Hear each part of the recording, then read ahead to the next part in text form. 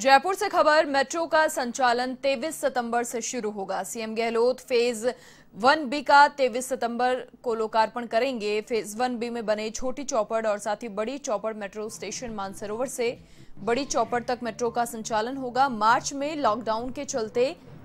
metro बंद है और अब तेईस सितंबर से मेट्रो की जो सेवा है वो शुरू हो जाएगी